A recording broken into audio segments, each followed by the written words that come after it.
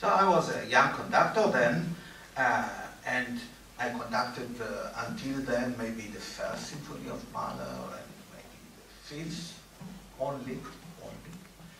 And then I conducted the tenth. And after it was known that I conducted the tenth, everybody wanted me to conduct the tenth of Mahler.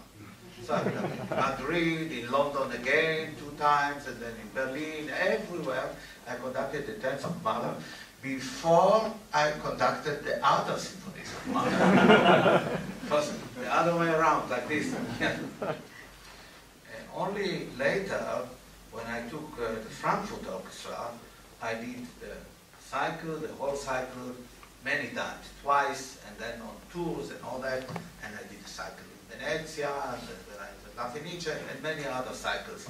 And also in Tokyo, of course. I think in Tokyo we did uh, three cycles until now. And, um, and the, the interesting thing that after I conducted so many times the Dance of Mahler, I left it. And when I began to conduct in Frankfurt, I did the cycle of Mahler, conducted all the other symphonies, and I forgot tenth. Did not conduct it for many, many years. And only when we finished the cycle of the nine symphonies and did von der Erde, the idea came maybe we should do the tenth. It was for me like a new symphony again, because so many years I did not conduct. So I had to think over again and to understand this symphony.